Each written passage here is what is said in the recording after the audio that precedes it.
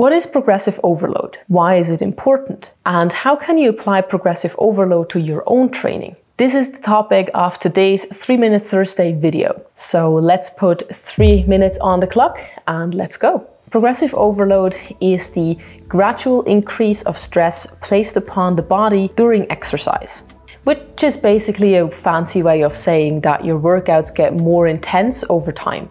But why do you need that? Why do you need to make your workouts more intense over time? Well, because progressive overload is the only way that you can become stronger and build more muscle mass. But why is that? Why is this the only means of getting stronger and becoming more muscular? It's because your body will eventually get used to and adapt to the stress of lifting weights meaning that when you lift the same weight for the same number of reps all the time, your body will make you just as strong and build just as much muscle mass so you can comfortably lift said weight for said number of reps. But that's about it because your body doesn't want to indefinitely add muscle mass because it's very costly to build and also to maintain. And if you don't need it, then why build it? That's why you need to gradually increase the stress you place on your body over time. Or, in other words, you do a little bit more than last time. And this will signal your body that you're not done yet with building muscle mass and getting stronger. Okay, but what does it mean to do a little bit more than last time?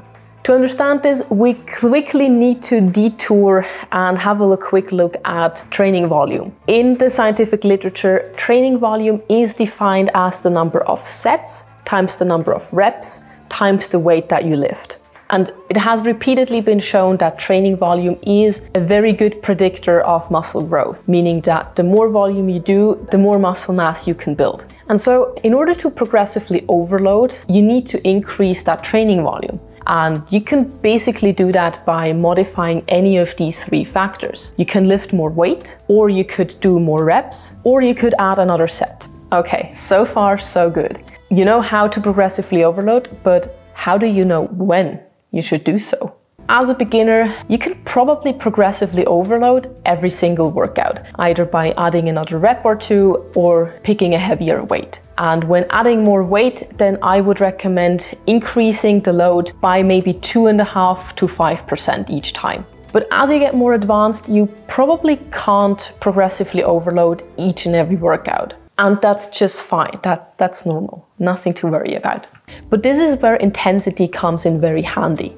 Briefly, if you want to build muscle mass, then you should leave no more than three to four reps in the tank at the end of each set which means that if you approach the end of your set and you feel that this is too easy, then you know it's time to progressively overload. But there is one very important thing, and that is technique. So whenever you consider progressively overloading, then first make sure that your technique is on point so you don't risk any injuries. But that was it for today's video. Everything you need to know about progressive overload explained in three minutes. And if you'd like to see a bit of a more in-depth explanation, then let me know in the comments down below. And on your way down there, make sure to hit that like button and subscribe to my channel. So we're gonna see each other in the next video.